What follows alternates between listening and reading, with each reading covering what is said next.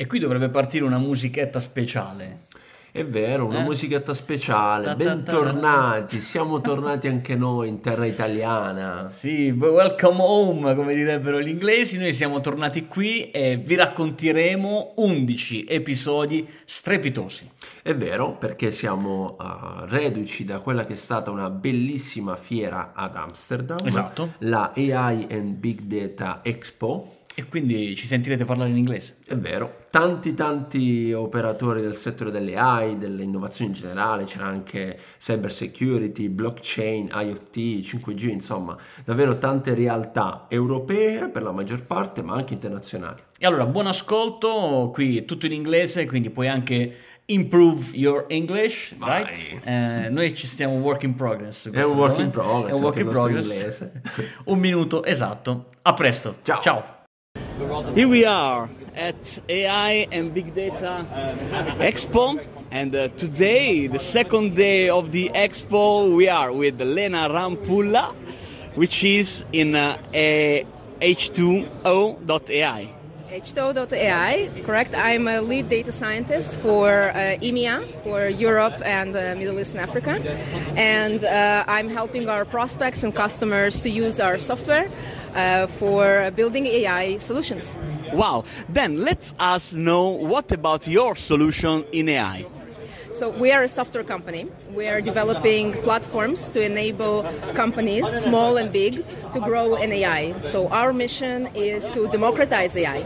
So even companies that do not have the scale to hire large data science teams could still implement ML solutions. So the core of our platform is an automated machine learning solution called driverless AI, and we also have a larger product, a larger platform, which is called H2O AI Hybrid Cloud, and it's an app store for AI applications. Wow. So you could do applications for your business which are powered by AI. Wow, this is very nice. I saw a lot of uh, uh, application. Can you see the most important one for your customer? So we work mainly in the financial sector, but not only. Uh, and for the financial sector, fraud detection, credit risk scoring, anti-money laundering is of course really big use cases. But actually, all of that may be also relevant for other industries. So we have our customer list, some of our customers over there, and uh, of course other technologies may also or other industries may also need for example fraud detection.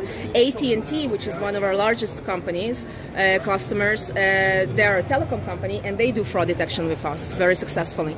Uh, so you could also be in an industry where you sell products like unilever uh, and uh, or you can be even in very small industries. We have a customer who are the farmers associations in canada they uh, use our products to predict the egg production for their Wow. farmers. so it's very very flexible, uh, and uh, and it's not industry specific. So anywhere where you would think you can build a machine learning model, you could use our products.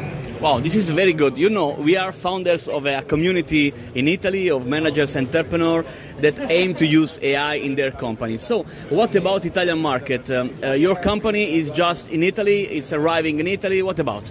So we are all over the world. We're global. Uh, our company is founded in California, but we have offices all over Europe, and we have customers all over all over the world. Uh, so of course we have global customers that are also in Italy. So you could also find us in Italy, uh, and we are open to all markets. Right. So we have representation uh, here. We have representation in different countries. Uh, so all you need to do is just contact us, and we will of course be very happy to help you with any project. Okay, thank you. See you at the next episode of our podcast. Bye.